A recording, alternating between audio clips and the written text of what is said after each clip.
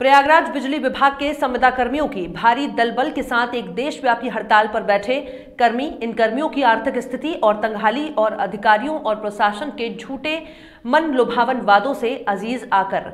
सरकार को चेताने और आला अधिकारियों तक अपनी पीड़ा, समस्या और दर्द की बातों को पहुँचाने के लिए बेबस होकर इस रास्ते पर आ पहुँचे। जैसा इनकी मांग और आप बीती के अनुसार पिछले तीन महीने का कोई भी वेतन भुगतान नहीं दिया गया, केवल आश्वासन ही आश्वासन।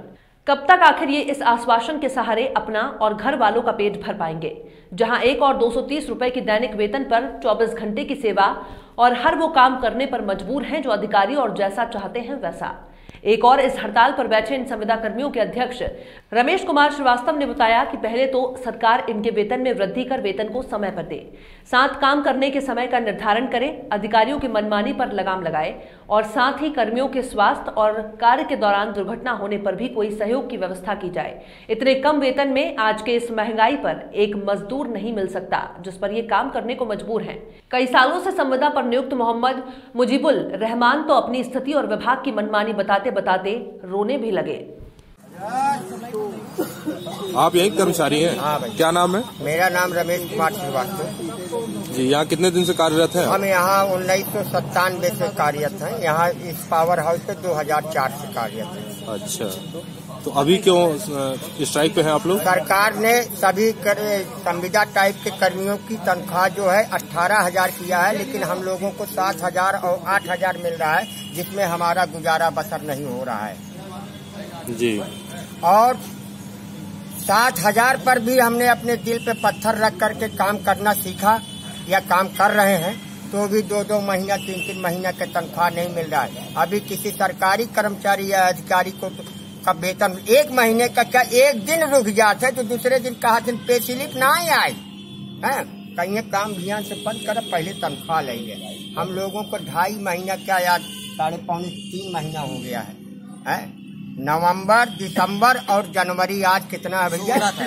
सोलह तारीख। अभी। तक। नहीं तनख्वाह मिली। अब बताइए मैं रमेश श्रीवास्तव ये दावे से कहता हूँ कि मैं इस पावर हाउस में सोता हूँ और होटल में खाता हूँ। अगर मैं किसी अपने बीवी बच्चों को रख लूँगा तो भैया कहाँ से खिलाऊँगा कहाँ से उनको वेतन का पैसा दूँगा कहाँ से उनको ए, महीने का किराया दूँगा है? और क्या क्या मांगे हैं आपकी? मांग हमारी एक ये है कि हमको पूरा वेतन दे। जो सरकार ने निर्धारण किया है उस हिसाब से वेतन दिया जाए। दूसरी मांग हमारी ये है कि जो हमारा ईपीएफ एक जान एक एक एक रड़ुआ झोड़े पुष्पेंद्र शुक्ला। वो आज आठ आठ महीना के वेतन ही नहीं जा रहे भैया ईपीएफ नहीं जा रहे। दूसरा दूसरा ईपीएफ हमारे प्राइम वन वाले। अब वो एक नाव दो एक आदमी का दो यूएन नंबर अलाट हो गया। पैसा आज तक EPF का क्लियर नहीं। किसी का तीन यूएन नंबर हो गया। उनको पैसा नहीं मिल पा रहा कि अपने ईपीएफ से पैसा निकाल करके अपना गुजर बसर कर सके। तीसरी मांग हमारी है कि हर महीने का एक तारीख निर्धारण करके पाँच से सात से कि इस तारीख तक हम सभी संविदा कर्मियों का वेतन आ जाए।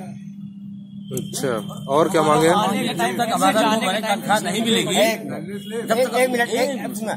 और दूसरी चीज़ ये है हमारा आवे के टाइम बाद आठ बजे आ जाया। और जाए के कहूँ सात बजे छोड़ता है तो कहूँ और कहूँ अगर चला गए तो हाजिरी कट जाए और हमका निकाल के पावर हाउस बाहर चले जाओ। निकल जाओ। इस तरह के जो हम लोगों के साथ दुर्व्यवहार किया जा रहा है इसके संबंध में हमारी लड़ाई। एक, एक समस्या और है जब तक हमारी दो महीने तनख्वाह और नहीं दो महीने की जब तक वेतन नहीं मिलेगा हम लोग काम करना बंद कर देंगे। पूरी तरीके से बंद कर दिया। बिल्कुल बंद कर देंगे। सवाल?